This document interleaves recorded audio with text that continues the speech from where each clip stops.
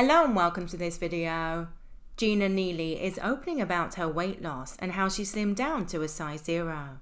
The former Down Home with the Neely's host dished on her new lifestyle and explained that while she noticeably lost weight, it's not as much as many thought. Everybody thought I lost 100 pounds. I lost 34 pounds, not 100, just 34. She also added that her split with husband Pat Neely after 23 years isn't the sole reason she slimmed down. In fact, she said she started her journey long before they filed their papers in 2014. I actually started this journey at 45. I said I was not going to take my weight into 50. My 50th birthday was June the 10th. I had already been in this lifestyle. But what really triggered it for me was that I just wanted to feel better, have more energy, and, actually, when I started going through all of these emotional endurances, working out was so good to sort of redirect that energy. When I work out, you know, you feel good. It puts you on top of the world. It takes you away from your world, and you just kind of zone out. You're doing what you need to do, but you're also doing something good for yourself. And that's good for your body, good for your mind, good for your soul. Working out really became the saving grace for me, if you will. Getting me through all of that. It kept me positive. It kept me moving.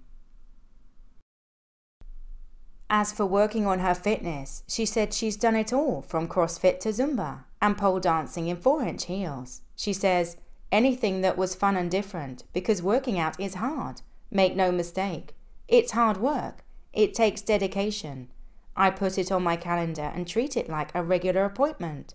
If someone were to call me and say, let's go to dinner, and I'm on my way to the gym, I say, no, I can't go.